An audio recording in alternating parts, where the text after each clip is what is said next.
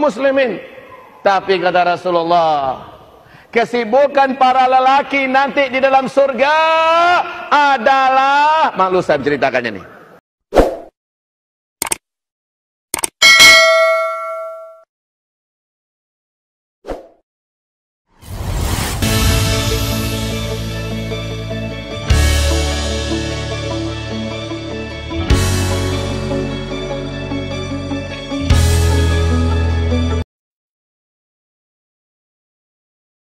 النساء في الجنة قليل أكثرهم رجال.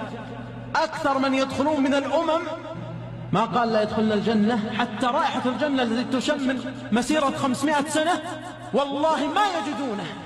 لماذا؟ لأنها سافرة متبرجة لأنها مخصرة في المجمعات لأنها وضعت العطورات والزينة لأنها حادثت الشباب لأنها صورت نفسها وأرسلته في تلك البرامج الخبيثة. بل إن الله وصفها وصفا دقيقا حتى وصف أثداءها. فقال جل جلاله إن للمتقين مفازا حدائق وأعنابا وكواعب أترابا وكواعب أترابا. أتدري ما معنى وكواعب أترابا؟ أي أثداء الحور الله جل جلاله يصف نعم حتى يعلمك ما في الجنة. وأنه لا حياء في هذه الأمور. حتى يجعلك تتنافس وتتسابق. إنها رسالة إلى من ضيع الجنة بشهوة ساعة. اسمع أثداء الحريات. كيف وكواعب أترابا. أي نواهد الحور كالرمان ليست متدلية إلى أسفل زيادة في الحسن والجمال. فأين المحبون للنساء؟ أين المشتاقون للحور؟ كم هم الذين باعوا الحريات لأجل فتاة سافرة فاجرة؟ قال الله جل وعلا حتى الجماع والمعاشرة ذكره الله. حتى يشوقك حتى يعلمك ما في الجنة. ليس فقط أكل وشرب ونعيم بل هناك جماع ليس كجماع الدنيا. وهناك نساء ليسوا كنساء الدنيا. قال ربي جل جلاله إن أصحاب الجنة اليوم في شغل فاكهون. هم وأزواجهم على الأرائك متكئون. قال أبو مزرز قلت لابن عباس ما شغلهم؟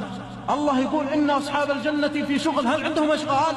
عندهم ما انتهى النصب والتعب والعبادة. ما الذي شغلهم يا ابن عباس؟ قال شغلهم افتضاض الأبكار. شغلهم افتضاض الأبكار. هل في الجنة جماع ومعاشرة؟ نعم. عن ابن عباس قال قيل يا رسول الله أنفضي إلى نسائنا في الجنة كما نفضي إليهن في الدنيا؟ قال والذي نفس محمد بيده إن الرجل ليفضي في الغداة الواحدة إلى مئة عذراء. مئة عذراء. والأعجب والأغرب أنه كلما عاد إليها وجدها بكرا وزيادة في زيادة في اللذة والأنس. يجدها بكر كما كانت ليست كنساء الدنيا. تفضل بكارة وتنتهي. بل كلما خرج وزار العزيز الحميد ثم عاد يجدها بكرا أهل الجنة يعطون قوة مئة في المأكل والمشرب والمطعم والجماع. حتى في الجماع. لأن هناك من أهل الجنة من قد يزوج بمئة وربما بأكثر وهو يعطى قوة مئة يعني يستطيع في غداة واحدة يجامع مئة امرأة أو مئة حورية. نساء الجنة